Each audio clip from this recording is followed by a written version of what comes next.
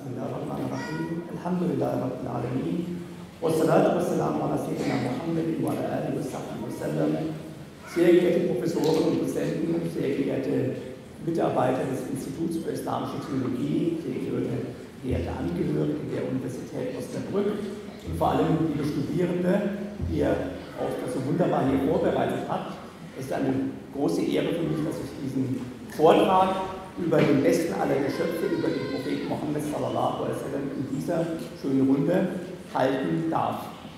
Ja, ich wurde angefragt, dass ich etwas ähm, Emotionales bringe und etwas Emotionales aus dem Leben des Propheten. Und ich habe mir verschiedene Gedanken gemacht, so ganz ohne Wissen kann man Emotionen nicht äh, vermitteln, ist mir dann nochmal aufgefallen. Wenn ein Ereignis dramatisch dargestellt wird, wenn ein Ereignis auch vom Zuhörer dramatisch sich vorgestellt wird, glaube ich, dass die Emotionen von selbst kommen und die Emotionen müssen sich bei Muslimen gar nicht immer in einem sehr exaltierten zur Schaustellen zeigen, sondern sie können ja etwas bewirken, was tief in der Seele wirkt. Der Titel ist vielleicht auf den ersten Blick noch etwas ähm, kryptisch. Bescheidenheit und Stärke, die nachgeholte Pilgerfahrt in der medinensischen Sira. Ich möchte auf diese beiden Begriffe eingehen, die sich genau hier in der Umratul Khabar zeigen. Wie geht der Prophet Friede und Segen mit ihm in der Erziehung der Menschen um mit diesen beiden Polen, die wir haben? Die Bescheidenheit im Menschen und die Stärke und wie spiegelt sich das in den Riten und in den Ereignissen, die genau in diesem Ereignis der medizinischen Sira stattgefunden hat. Eine große Schwierigkeit, glaube ich, ist heutzutage bei der Vermittlung von vielen islamischen Disziplinen, dass wir alles bruchstückhaft übermitteln dass wir dann, wenn wir die einzelnen Bruchstücke haben, uns immer gleich die Frage stellen, ist das richtig oder falsch, ist das gut oder schlecht überliefert, aber wir vergessen den Blick auf den Gesamtzusammenhang. Und wenn man sich die Sira insgesamt nochmal unter diesem Blickwinkel anschaut, die Frage nach dem Gesamtzusammenhang, wie spiegelt sich in den prophetischen Lebensstationen eigentlich die Erziehung des Korans, dann erkennt man für sich etwas sehr Schönes, dass wir quasi das göttliche Wort, wie es herabgekommen ist, sich in einer praktischen, biografischen Aufreihung von Ereignissen auf wunderbarste Weise widerspiegelt. Um das Thema Umwelt und Qadar zu verstehen, müssen wir eine kurze Rückblende machen auf das Jahr zuvor. Wir sind im sechsten Jahr der Hijra gewesen, sechstes Jahr nach der Auswanderung des Propheten Mohammed sallallahu alaihi wasallam von Mekka nach Medina, was man ja auch hier auf der Karte ganz gut sieht, eine Strecke von ungefähr 400 Kilometern. Und seit sechs Jahren lebte die islamische Gemeinschaft in Medina und florierte. Und da war es im sechsten Jahr zur, zu dem Versuch gekommen, eine Pilgerfahrt durchzuführen, die aber dann abgebrochen wurde und danach werden wir drauf gekommen, im siebten Jahr geht es eben um das Nachholen der Pilgerfahrt. Und dieses Nachholen der Pilgerfahrt wird in vielen Büchern recht stiefmütterlich behandelt, mehr oder weniger mit einer Seite, ja, und nächstes Jahr durften sie dann vertragsmäßig kommen, haben ihre Pilgerfahrt ausgeführt, ein, zwei Ereignisse haben stattgefunden und das war's. Ich glaube aber, dass in diesem Ereignis, das wir heute genauer anschauen, viel mehr Lehren stecken und dass es in gewisser Weise ein Höhepunkt auch der prophetischen Entziehung ist. Dazu aber erstmal die kurze Rückblende. Wir schauen also nochmal an. Es geht ja um die Erfüllung eines Traumes. لقد صدق الله رسوله الرؤيا بالحق لتدخلن المسجد الحرام إن شاء الله آمنين محلقين رؤوسكم ومقصرين لا تخافون فعلم ما لم تعلموا فجعلوا من دون ذلك فتحا قريبا. Ein Vers aus der 48. Sure und das ist die Sure, die gerne übersetzt wird mit Surat al die Sure der Eroberung. Es ist eigentlich eine Eröffnung und bezieht sich möglicherweise zu einem großen Teil eher auf die Ereignisse von Hudaybiyah. Und da hat der Schöpfer offensichtlich nach der gescheiterten Pilgerfahrt von Hudaybiyah bereits angekündigt, dass sich eines Tages dieses Traumgesicht erfüllen wird und dass die Muslime diesmal in Sicherheit in dem Zustand des Pilgers, also mit gekürztem oder mit geschorenem Haar, die den Bezirk um die Kaaba betreten werden dürfen.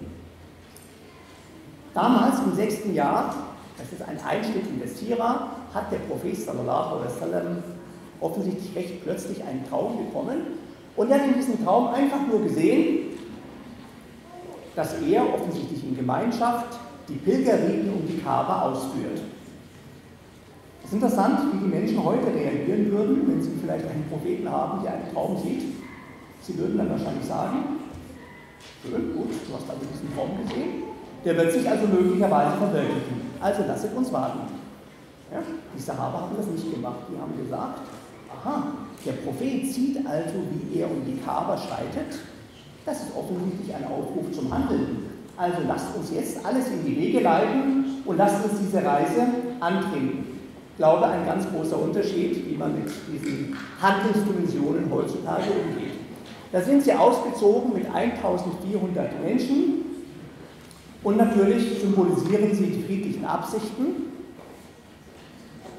Und das muss so sein bei der Pilgerfahrt. Das Interessante ist nämlich hier, die Mekkaner bekommen das ja schon von hunderten Kilometern mit, dass die Medinenser als Gruppe in Richtung ihrer Stadt marschieren. Wo aber werden diese friedlichen Absichten eigentlich so klar? Allein schon an der Kleidung. Man hat eben nicht die Rüstung des Krieges an. Man kommt nicht mit äh, gepanzerten äh, Helmen oder mit irgendetwas, was wirklich auf Krieg ausgerichtet ist. Man kommt in der Kleidung des Pilgers. Und wenn wir uns da nochmal die Symbolik der Pilgerfahrt anschauen, dann merken wir, ich glaube, was die Sahaba damals tief empfunden haben müssen. Eine richtig existenzielle Herausforderung, die Schwelle zum Tod soll kurzzeitig überschritten werden. Denn wir wissen es alle, wenn wir es jedes Mal aber wiederholen, ähm, spüren wir es vielleicht ein bisschen tiefer. Du gehst auf die Pilgerfahrt in der Kleidung des Grabes. Auch wenn es nur der Mann ist, der mit seinen zwei Tüchern eingehüllt sich auf den Weg macht. Ebenso zeigt sich diese Symbolik von Leben und Tod in vielen, vielen weiteren Stationen und Riten der Pilgerfahrt, wie zum Beispiel die bestimmten Ihram-Verbote, dass man genau diese Sachen unterlässt, die eigentlich die genaue Symbolik des Lebens bei Menschen darstellen. Haare schneiden, das Nägel schneiden, das Parfümieren. Das Parfümieren ist ja immer auch das Symbol für das erwachende Leben und für Fruchtbarkeit und natürlich auch genau die geschlechtliche Beziehung wird untersagt in der Pilgerfahrt. Ja, all diese Dinge, die den Menschen eigentlich zum Leben im Diesseits notwendig gegeben sein müssen. In diesem Zustand, ohne einen Helm, barköpfig in einer Gesellschaft, wo man normalerweise nicht barhäuptig herumgelaufen ist, kommen diese Menschen Richtung Mekka an, führen ihre Opfertiere dabei und zeigen, dass sie eigentlich nur in friedlichen Absichten gekommen sind. Wie werden jetzt die Mekkaner reagieren? Es ist eines der bekanntesten Missverständnisse, das wir typischerweise in unserer heutigen Zeit ständig produzieren, dass dann als Antwort kommt, ja, wir erwarten, dass die Mekkaner nichts anderes machen, als dass sie die Muslime angreifen. Das ist wahrscheinlich auch wieder ein bisschen die Opferrolle, die wir heute gerne spielen, dass wir uns immer nur vorstellen, die Muslime damals sind die friedlichen und braven gewesen und die anderen haben sie angegriffen. Aber was würde denn passieren, wenn die Mekkaner, die diese Stadt halten und die die Kaaba verwalten, sagen, diese Gruppe von 1400 Menschen, wir greifen sie an, das wäre eine sehr leichte Sache, mit einer relativ kleinen Armee, gut ausgerüstet, ziehen sie den Pilgern entgegen, die sind sowieso erschöpft vom Weg, die haben sowieso kaum Kleidung am Leibe, die sind ausgemergelt, ausgemergelt auch von den Reisestrapazen, man greift sie an und massakriert sie. Aber das machen die Mekaner nicht. Was würde passieren, wenn die Mekaner das machen würden?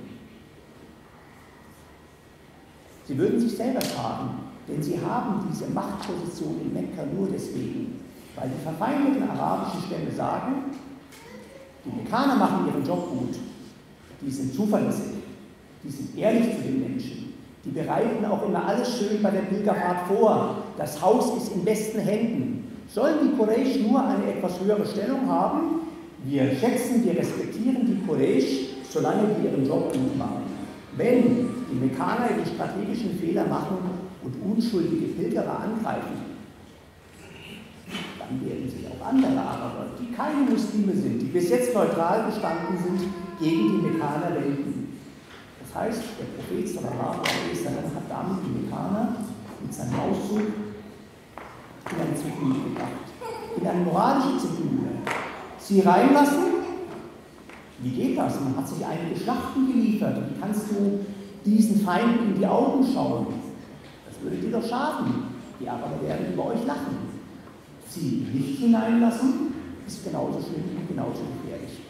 Die Mekkaner werden also jetzt zum ersten Mal von den Muslimen auch wirklich strategisch in die Lage gebracht, dass sie sich zwischen zwei negativen Optionen entscheiden müssen und dann wählen sie doch den friedlichen Weg und sagen, wir wollen keinen Krieg mit diesen Leuten, und es kommt zu Verhandlungen.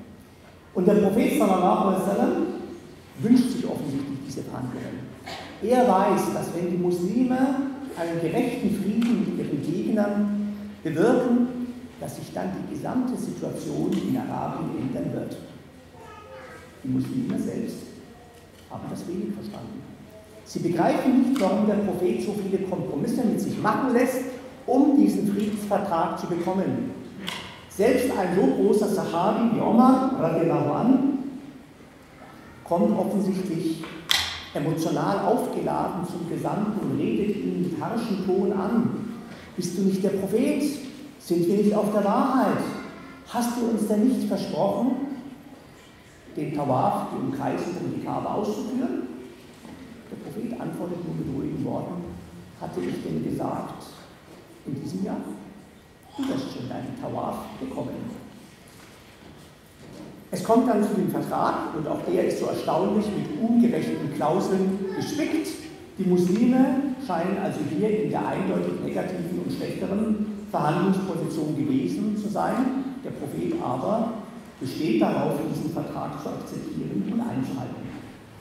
Unter anderem wurde ausgemacht, dass das, was uns jetzt interessiert, dass in einem Jahr genau die Muslime nun nach Mekka kommen dürfen.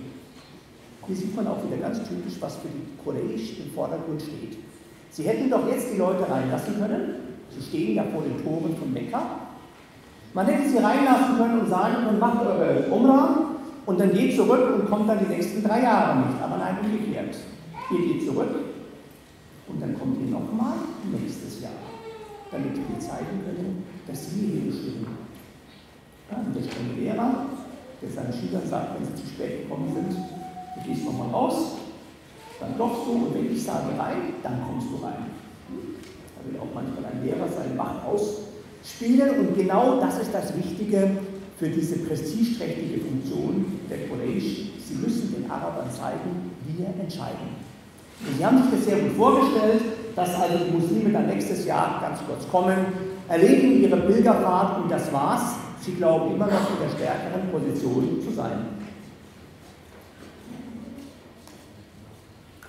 Der prophetische Traum verwirklicht sich also, aber zu seiner Zeit. Auch vielleicht eine symbolische Aussage für uns, eine Ermunterung. Das Gute verwirklicht sich, aber das Gute verwirklicht sich zu seiner Zeit. Nicht dann, wenn wir es wollen, nicht dann, wenn wir auf den Tisch hauen und sagen, es soll Folgendes passieren, sondern dann, wenn der Mensch offensichtlich richtig erzogen ist, das richtige Handeln gelernt hat, dann gibt ihm der Schöpfer auch den Erfolg, den er sich gewünscht hat. Das Erste, was schon mal erstaunlich ist, in diesem Jahr, das jetzt vergangen ist, diesmal im siebten Jahr der Hitler kommen sie also nun zur nachgeholten Pilgerfahrt Diesmal sind es 2000. Die Muslime haben an Stärke gewonnen. Ja. Und sie kommen in eine Situation der Sicherheit. Jetzt hat man einen Vertrag, den man ein Jahr zuvor nicht hatte. Eine ganz andere Situation. Und jetzt in dieser friedlichen Situation können die Muslime sich so verhalten, wie es ihrem Inneren entspricht. Und genau das will offensichtlich der Prophet Muhammad sallallahu alaihi wasallam. Auch hier gibt es einen Punkt, den ich glaube mal alle schon gehört haben und in Sira-Büchern hat man das gelesen. Kommt dieser berühmte Satz des Propheten, wo er den Leuten befiehlt, dass sie quasi, neudeutsch gesprochen, Muskeln zeigen, dass sie Stärke demonstrieren. Wohl dem oder Allah erbarme sich demjenigen, der ihnen, diesen Leuten, heute etwas von seiner Macht, offensichtlich von der Macht Allahs zeigt. Also, die Männer werden angeredet, zeigt eure rechte Schulter und eilt ein bisschen die ersten Runden, um offensichtlich Vitalität zu demonstrieren.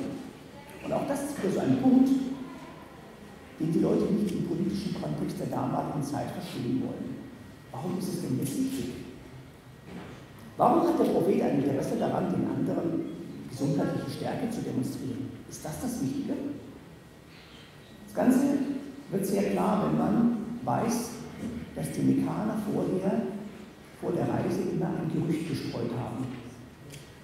Und dieses Gerücht lautete, die Muslime haben dort in Medina so ein Fieber, so ein Sumpffieber und deswegen werden sie hier ganz geschwächt ankommen. Ihr werdet schon sehen, wie sie quasi auf dem Zahnfleisch herumkriechen und kaum ihre Pilgerriten ausführen werden können. Auch hier muss man sich fragen, ja und? Warum ist es für die Kollegen so wichtig, die Muslime hier als schwach darzustellen? Ja, wenn dann mal ein Fieber in Medina ist, was stört uns das? Was hat das mit der Religion zu tun? Die Mekaner wollen die ganze Zeit der Umgebung dieser beiden Städte zeigen, diese Muslime haben einen großen Fehler gemacht, dass sie nach Medina ausgewandert sind. Denn das wollen die Mekaner. Bitte nicht vergessen, den Mekanern geht es nicht darum, nur Gewalt auszuüben. Sie wollen nicht unbedingt jetzt die Muslime ähm, gewaltsam unterdrücken. Sie haben auch keine Freude daran gehabt, als die Muslime die Stadt verlassen haben. Auch wenn sie im letzten Augenblick den Propheten sallallahu alaihi wasallam töten wollten. Insgesamt wussten sie, dass der Verlust dieser Bevölkerungsgruppe in Mekka wirtschaftlich eine Katastrophe ist und die Quraysh in Arabien sehr schlecht darstellen dastehen lassen wird. Nämlich als Menschen, die ihre Verwandtschaftsbande nicht einhalten, die ungerecht sind, die ihren Leuten auch nicht die Freiheit gegeben haben, die man normalerweise den Leuten gibt. Denn die Araber legen Wert auf Ehre, Tradition, aber auch Freiheit, dass der Mensch sich entfaltet, so wie er will. Die Mekaner haben sich in etwas sehr Schlimmes hineingeritten, dass sie diesen großen Hass auf die Muslime bei sich haben keinen lassen. Deswegen müssen sie der ganzen Welt zeigen, Welt heißt natürlich die Beobachter damals, seht, seit die Muslime in Medina sind, geht es ihnen schlecht. Die haben auch ein Klima, das ist nicht gut für uns. Ihr seid Quraysh, ihr sollt bitte in Mekka bleiben. Das ist unsere Stadt, da dreht sich alles um den Handel. Das sind unsere Berufe, die wir ausführen können. Wenn ihr nach Medina geht, ihr werdet euch schaden. Na, ihr seht schon wieder ein Fieber, das euch schwächt. Eure Religion schwächt euch. Eure Religion und euer Prophet haben euch da in etwas hineingeritten, was nicht für euch gut ist. Das ist wichtige, der wichtige Hintergrund dieser Propaganda, die die Mushrikun von Mekka gegen die Muslime gestreut haben. Und sie haben sich gefreut. Wenn man dann zuschauen kann und sieht, wie die Muslime schwach ankommen, dann hat man schon mal einen ganz starken symbolischen Schlag den Muslimen versetzt. Und dann wird es sehr klar und sehr plausibel, warum der Prophet dann sagt, möge Allah barmherzig sein demjenigen, der ihnen etwas von der Kraft Allahs zeigt. Denn wenn der Mensch nach der Kraft Allahs lebt, dass er im Bewusstsein der Kraft Allahs lebt, dass er sich von den Eigenschaften Allahs einhüllen lässt, wie manche sagten, dann wird er sich verändern. Dann wird auch in sein Leben Ordnung und Disziplin kommen. Innere Stärke, die sich dann auch als äußere Stärke zeigt. Also, es passte genau an diese Stelle. Der Prophet will Stärke demonstrieren. Dahinter steckt mehr. Einen interessanten Exkurs kann man hier noch vielleicht machen. Da sieht man vielleicht auch nochmal, wie wir den Begriff Sunna und dieses Konzept Sunna vielleicht auch verstehen sollten oder können. Das ist ja eine der Lieblingsdiskussionen heutzutage wo gern gesagt wird, der Koran reicht uns, Und die Sunna, das ist höchstens so eine Ergänzung als schönes Vorbild, aber vielen Leuten wäre es am liebsten, wenn man die Sunna beiseite schieben könnte. Wenn man sie aus dem Islam hinaus äh, dividieren könnte, dann hat man nämlich ein bisschen größere Freiheit, mit dem Koran so zu verfahren, wie es einem gut dünkt. Ja, und für viele Menschen ist leider heutzutage die Sunna etwas geworden wie eine Einschränkung. Als ob die Sunna dein Leben reglementiert und dich von Freiheit und Erfüllung abhält. Und da muss man doch sich mal wundern und fragen, warum hat der Prophet Muhammad sallallahu alaihi wasallam bei seiner letzten Pilgerfahrt dieses Muskeln zeigen und dieses schnelle Laufen, Privat und Klammern, warum hat er es bestätigt? Bei der letzten Pilgerfahrt, drei, vier, fünf Monate vor seinem Tode, der Islam war abgeschlossen, Arabien war insgesamt zum Islam gekommen, die Kaaba war schon seit drei Jahren ungefähr in der Hand der Muslime. Mittlerweile gibt es keinen Schritt mehr. Es gibt keine Götzendiener mehr, die jetzt neidisch zuschauen, wie sich die Muslime verhalten. Warum aber hat der Prophet gesagt, weiterhin an dieser Sache festhalten? Aber wir können nicht beantworten, warum.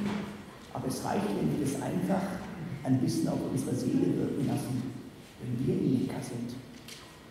Wenn wir in Mekka sind und dann fangen die Männer an, ihre rechte Schulter zu zeigen und eilen in den ersten Runden um die Kaaba. Und dann denkt man daran, es gab mal eine Zeit, da sind die Muslime um die Kaaba geeilt und wussten da drüben. Ja? Einen halben Kilometer, 300 Meter nicht weiter entfernt saßen neidisch die Oberhäupter der Quraysh und sagten, wir haben diesen Leuten drei Tage gegeben, damit sie ihre Pilgerfahrt ausführen und dann schnell wieder abhauen. Und hoffentlich zeigen sich die Muslime hier von ihrer schlechtesten Seite. Da gab es eine Zeit, da waren wir Fremde in Mekka. Und warum ist diese Zeit der Unfreiheit zu Ende gegangen? Weil die Muslime sich so verhalten haben. Weil sie den Geboten ihres Propheten gefolgt sind weil sie diese Sterne gezeigt haben und dadurch den ersten Schritt zur inneren Öffnung Mekkas beigetragen haben. Hätten sie das nicht gemacht, wer weiß, wie heute die Lage ausschauen würde. Seit diesem Zeitpunkt, ein, zwei Jahre später, nach dieser Pilgerfahrt, wird ja Mekka weitgehend friedlich erobert. Seitdem ununterbrochen ist Mekka in der Hand der Muslime und die Pilgerriten werden durchgeführt, wie damals als der Erbauer der Kaaba oder der Wiedererbauer der Kaaba, Ibrahim a.s. mit seinem Sohn Ismail wieder auf ihm, wie sie das damals eingeführt haben. Also was sind wir diesen Leuten schuldig? Und das Mindeste, was wir als Erinnerung machen können, ist, es nachzuahmen. Und wenn es auch nur ein sehr klägliches Nachahmen ist, ein bisschen, ja, wir sind auch alle so richtig krank, wenn wir da ankommen, aber wir ahmen es ein bisschen nach, dann erinnern wir uns daran, an eine Zeit, als man in Mekka als Muslim fremd war. Ja, wir schließen ganz kurz mal die Ereignisse ab, äh, bis wir dann wieder zurückkommen zu den Lehren. Drei Tage sind also die Muslime jetzt bei dieser nachgeholten Pilgerfahrt in Mekka. Genau in dieser Zeit kommt es zu einer Anbahnung mit, mit einer Witwe namens Maimuna bin Talib, eine nahe Verwandte aus der Familie des Abbas, ein Witwe, und sie wurde vom Propheten für ihre Sicht auf ihn geheiratet. Die Eheanbahnung findet in Mekka statt. Der Prophet streckt also seine Hände aus in alle Richtungen, versucht mit seinen entfernten Verwandten die Bindungen zu stärken. Und dann sagt er, die drei Tage waren dabei abzulaufen, schickt er eine Nachricht an die Quraysh, die außen herum misstrauisch auf die Muslime herunterschauen und sagt, ich werde eine Hochzeitsfeier ausgeben. Kommt ihr auch, ihr seid alle eingeladen. Und da sagten die Kollegen, nein, wir werden nicht zu deiner Hochzeitsfeier kommen. Die drei Tage sind um, verlassen schnell die Stadt. Wir werden dir nicht mehr dienen. Der Prophet sagte, was würde es euch schaden? Wir können das verhandeln. Lasst uns noch ein bisschen länger bleiben und ich werde euch alle einladen zur Feier. Warum sagen die hier nein? Verlasse bitte schnell die Stadt weil sie Angst haben, die Muslimen in die Augen zu schauen, weil sie wissen, was sie den Muslimen angetan haben und sie wissen, wie schwer das ist, wenn eine Hand ausgestreckt wird, weil man etwas äh, übergeben will, wie schwer es da ist, etwas abzuschlagen. Die Kollegen merken, sie sind mittlerweile offensichtlich schon sehr stark innerlich geschwächt. Die Leute haben die Muslime betrachtet und haben gemerkt, dass die Feindpropaganda der Quraysh falsch gelaufen ist, dass diese Muslime eigentlich ehrliche und zuverlässige Leute sind, die jetzt auch hier friedlich bereit sind, die anderen zu einer gemeinsamen Feier einzuladen. Die Quraysh haben panische Angst und sagen, wenn wir das zulassen, werden sich unsere Leute möglicherweise verbrüdern.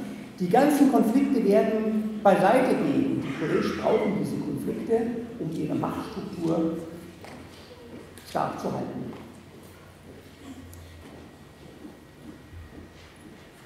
Was sind jetzt nochmal die Erwartungen der Mekkaner gewesen? Was sind die Vorerwartungen der Mekkaner gewesen, bevor die Muslime zu dieser nachgeholten Bilderfahrt in die Stadt gekommen sind? Was waren möglicherweise die Befürchtungen der Mekkaner? Was hätten die Muslime dort tun können?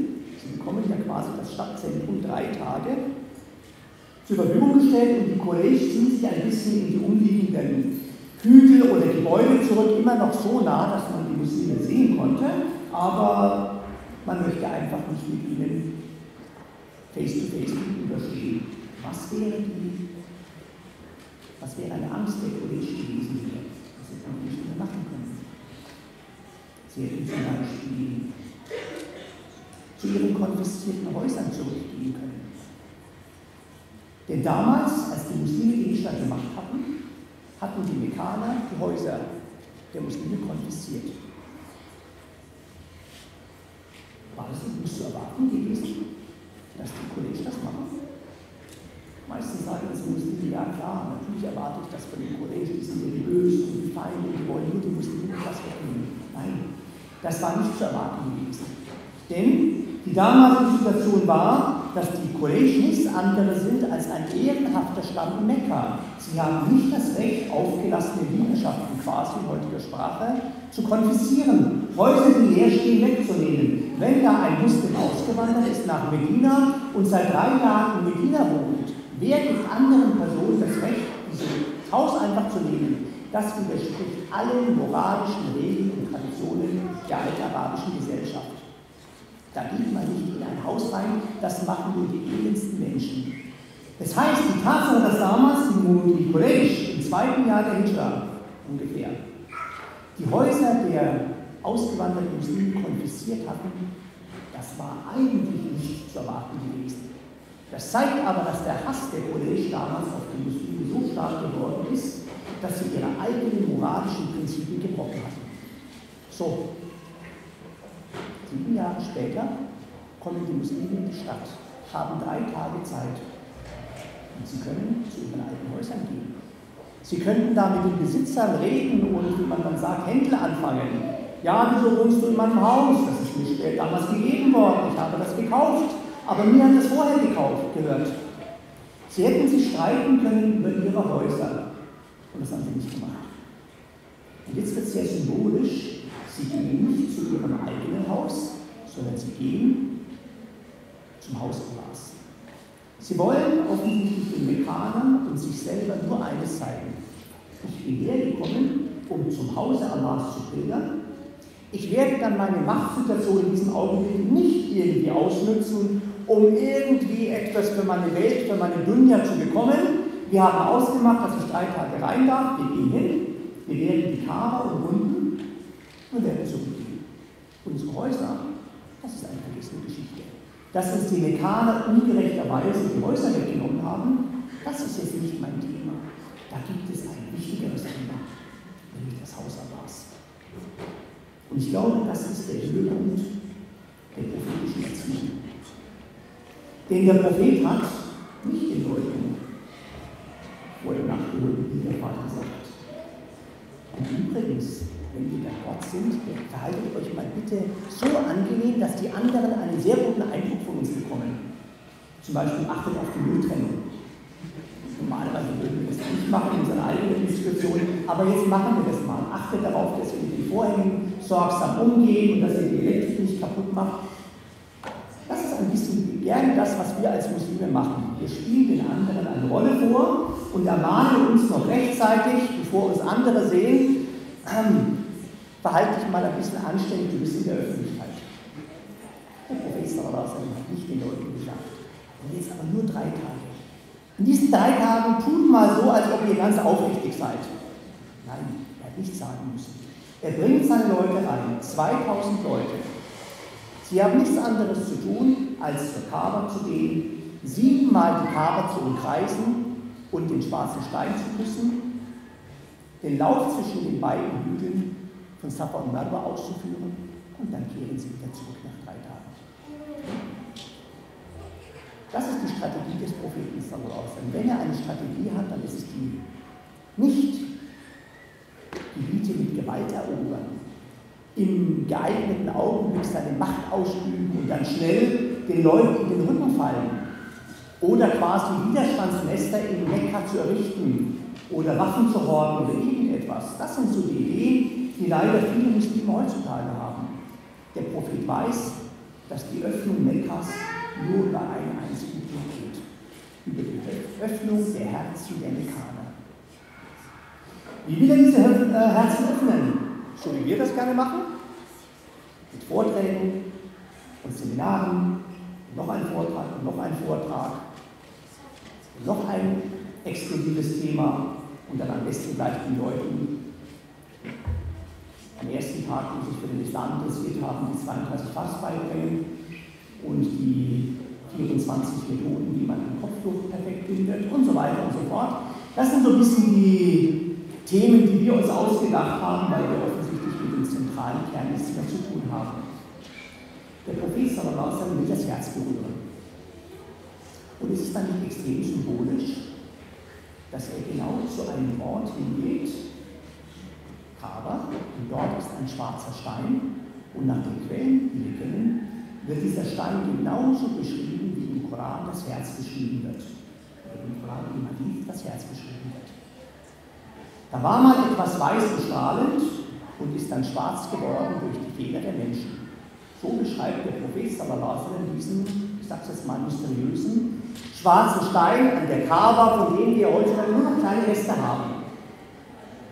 Aha, interessant. War mal schwarz, war mal weiß, ist dann durch die Sünden schwarz geworden und eines Tages sogar zerbrochen, in acht Einzelteile zerbrochen. Sehr symbolisch, genau wie unser Herz. Das war auch mal ganz weiß und hell und strahlend und war mal, wie auch immer das zu verstehen ist, beim Schöpfer. Und dann ist es schwarz geworden, schwarz und schwärzer, und dann strahlt einfach nichts mehr im Herzen. Dann reflektiert das Herz nicht Das Herz sollte nicht ein Spiegel sein, ein blank polierter Spiegel, der die Wirklichkeit der Existenz spiegelt. Ja, und dieser Spiegel ist bei uns aber auch noch zerbrochen. Der ist richtig zerbrochen. Und wir haben Gruppen und Grüppchen der Muslime, die sich gegenseitig in Hass und in Neid bekämpfen, also die symbolische Entwicklung des schwarzen Steines passt genau auf die symbolische Entwicklung unseres Herzens.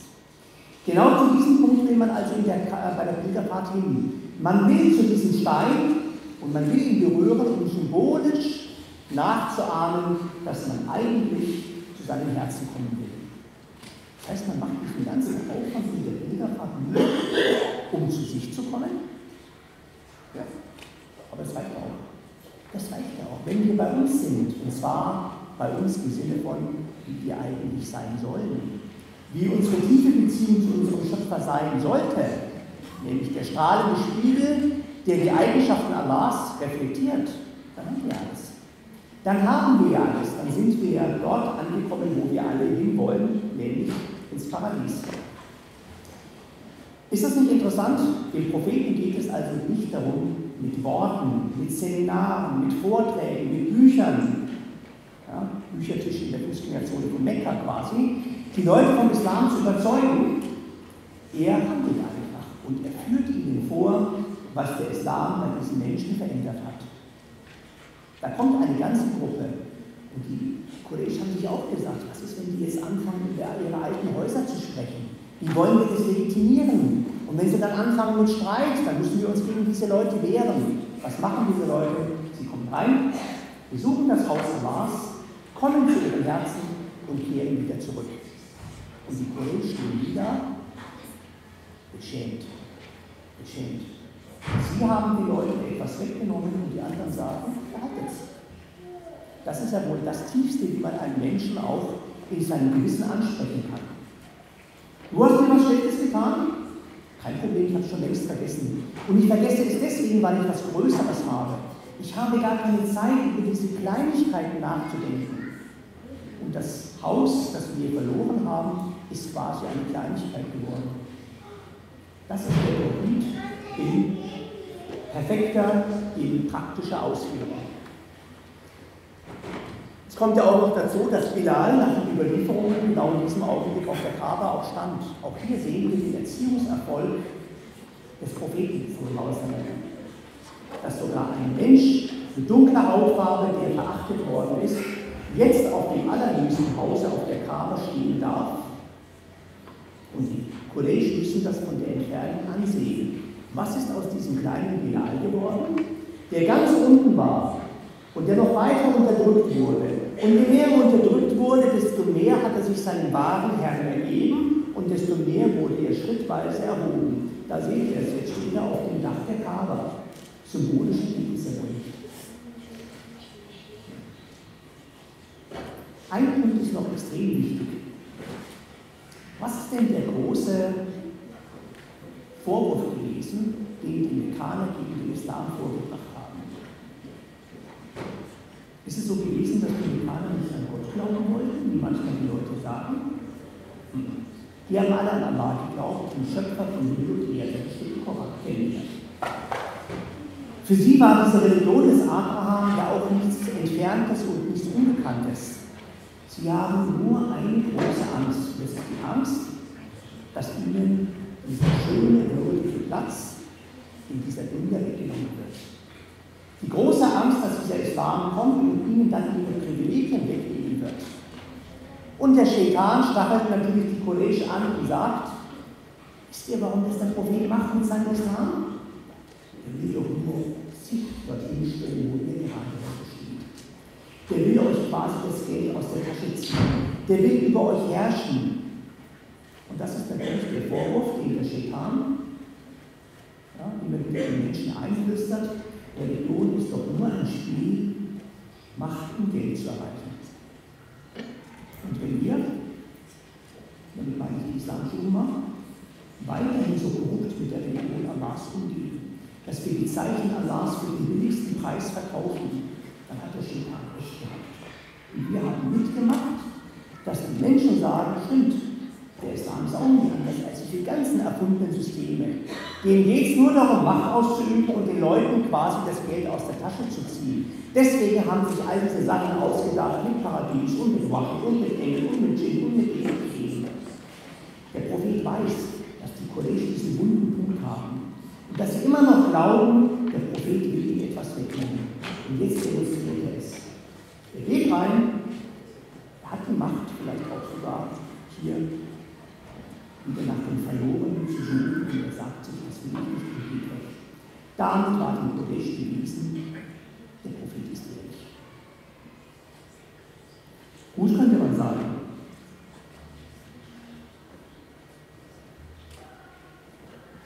Man könnte sagen, war es den Menschen nicht vorher schon bewusst? Haben wir denn nicht immer wieder gehört, dass die Mekkaner in der vorislamischen Zeit, vorprophetischen Zeit, den Propheten als Element bezeichnet haben. Das ist ja eines der Hauptargumente der Muslime, wenn sie nicht anders belegen können, sagen sie, der Prophet war doch als El-Amin bekannt. Ja, ist schön, ist richtig. Warum aber, nach dieser Deutung, will und muss der Prophet es nochmal den Leuten jetzt zeigen, im Jahre 7 welcher? Weil dazwischen sind 20 Jahre vergangen und der Prophet hat Macht bekommen. Und er ist Anführer eines Volkes geworden. Und da muss man immer noch mal kontrollieren, ob die ursprüngliche Linie immer noch die gleiche ist. Denn wir wissen, wenn Menschen an Macht kommen, wir kennen das von unseren Potentaten im Nahen Osten, wenn die an die Macht kommen, dann verändern sie sich. Sie werden korrumpiert. Die Dunja ist wie ein Gift, das die Herzen aufsaugt und du bleibst einfach nicht mehr bei deinen alten Prinzipien. Deswegen muss der Prophet im siebten Jahr Krishna es nochmal auf eine praktische Art live den Leuten vorführen. Und wie? Diesmal beweist er es mit einem von Menschen. Davor war er gewesen. Jetzt kommt er mit einer Gruppe von 2000 Menschen, die diese prophetische Erziehung genossen haben und genau dem gleichen Ideal folgen. Wir haben unser Herz an die Kaaba gehängt. Zeigen sie quasi mit ihren Aktionen. Unser Herz hängt an der Kaaba, wir streben nur dorthin und dann kehren wir wieder zurück. Wenn unser Herz gereinigt ist, dann haben wir alles und der Rest ist uns egal. Oder könnten wir auch sagen, der Prophet sallallahu alaihi hat den bekannten Hadith in eine praktische Vorführung umgeprägt. Den bekannten Hadith, wo er sagt, ich bin eigentlich ein Wanderer in dieser Welt. Ein Wanderer, der zu einem Baum kommt, kurz unter diesem Baum rastet, um dann weiterzuziehen. Das ist die Sichtweise des Propheten Mohammed sallallahu alaihi auf die Dunya.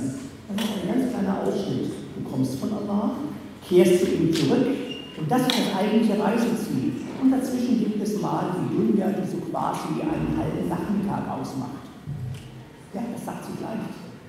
Das sagen vielleicht auch die meisten Religionen. Viele Religionen sagen das. Und viele Menschen sagen, und viele Muslime sagen das. Aber das Geheimnis des Erfolges liegt nur darin, dass man danach lebt. Der Prophet hat das ihm vorgeführt. Ich bin ein Wanderer und ich bin nicht hierher gekommen, um irgendwie euch das Geld aus der Tasche zu ziehen. Ich habe Größeres vor. Ich bin nämlich dabei, einen Ort anzustreben, der größer ist als alle eure Schätze, die ihr hier habt. Nicht mein Haus ist wichtig, sondern das Haus Allahs. So, wir kommen langsam zum Schluss, in fünf Minuten. Noch zwei Folien, eine gewisse Zusammenfassung der Prophet zeigt in seiner Vorbildlichkeit diese Mischung aus Stärke und Bescheidenheit. Lassen wir nochmal Revue passieren, was er in der Umwelt an Signalen der Stärke gibt ja? und was er auch an Signalen der Bescheidenheit. Bescheidenheit und Demut vor den Menschen. Und das ist auch, wie wir als Religionspädagogen wissen, auch das Rezept für jede erfolgreiche Erziehung. Die gesunde Mischung aus Lehrerpersönlichkeit und Stärke, aber auch eine gewisse Bescheidenheit. Und wir wissen, dass immer jeder Erziehungsprozess scheitert, wenn nur eine Sache von beiden betont wird. Ein Lehrer, der reinkommt und nur Stärke demonstriert und nur die Kinder einschüchtert und ihnen etwas vorschreibt und sie zwingt, stößt auf taube Ohren. Ein anderer, ein Lehrer, der nur bescheiden herkommt und vor lauter sozialer Kompetenz und sozialen Fähigkeiten sich von den Kindern um einen Finger wickeln lässt, wird auch nichts erreichen. Es ist genau diese Mischung aus Stärke und Bescheidenheit. Dass der Lehrer selber nach der Botschaft, die er gerade bringt, lebt, dass er sie verinnerlicht hat, dass er selber eine Freude daran hat, das aber kann er mit einer gewissen Disziplin und manchmal auch mit stärkeren Maßnahmen auch vermitteln dann ist der Erziehungsprozess erfolgreich und genauso auch der Erziehungsprozess dieser. Schauen wir heute an. Wo ist heute das Gleichgewicht? Da haben wir die einen muslimischen Gruppen, die glauben, sie könnten etwas Gutes bewirken, vielleicht auch nicht, dass sie selber überzeugt sind. Sie meinen mit Stärke und Machtdemonstrationen, Menschen einschüchtern, könnte man irgendwas erreichen der Hass auf die Muslime und den Islam nimmt nur zu. Das ist die Politik, in der wir gerade leben. Und dann kommen andere und sagen, du musst so bescheiden sein und dich ständig entschuldigen für alles, was der Islam sagt. Das ist auch kein Rezept des Erfolgs. Hier sehen wir, die ganze Umma ist heute so zerspalten und so zerrissen, wie der schwarze Stein an der Kabe, der aus kleinen Stückchen und kläglichen Resten eines ursprünglich glänzenden weißen Steines besteht. Das ist auch das islamische Menschenbild. Der Koran will die Menschen dazu erziehen, sich nicht zu klein und nicht zu groß zu machen. Und genau dieses Austarieren ist das Schwierige. Der Schetan redet uns ein, dass wir sehr groß sind. Dann versuchen wir uns sehr groß zu machen vor den anderen. Streit, Neid, Hass, alles Böse kommt in die Welt, weil die einen sich über die anderen erheben wollen. Und dann kommt der Schetan mit einem anderen Trick.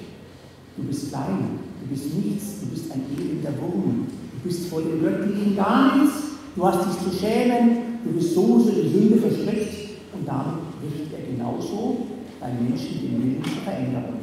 Also auch hier wieder nicht zu groß, nicht zu klein. Wenn wir das austarieren könnten, hätten wir den Stein der Weisen gefunden.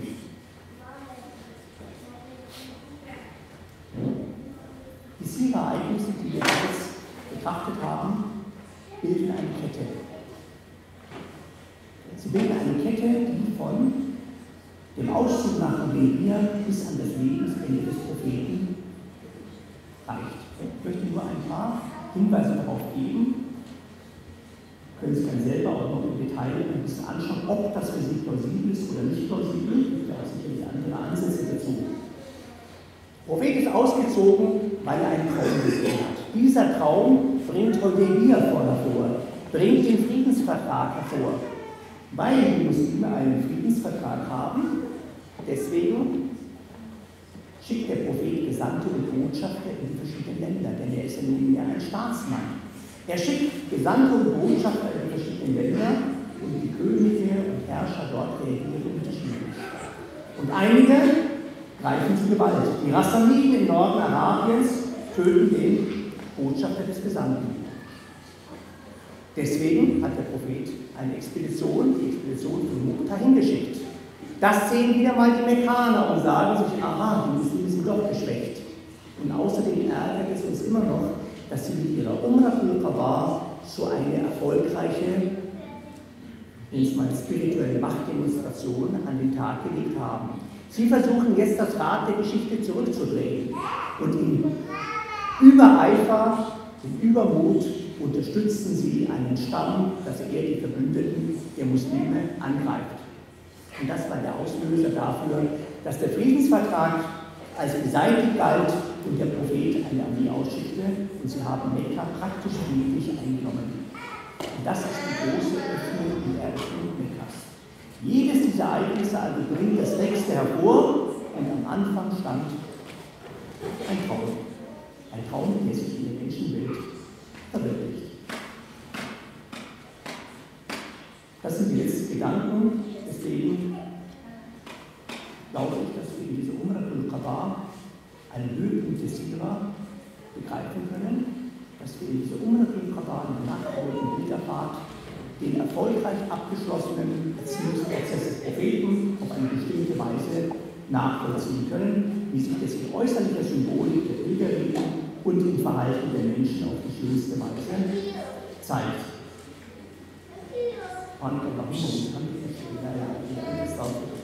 Danke für die Aufmerksamkeit.